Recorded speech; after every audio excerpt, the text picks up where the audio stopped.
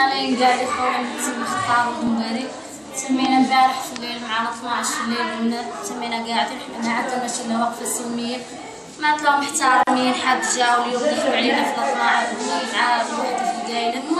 معنا راكدين معهم ولا راكدين إحنا لا قاعدين ندير وقفه سلميه عدوا الطفل ضربوه تو يعجنونا لاكي الكلاب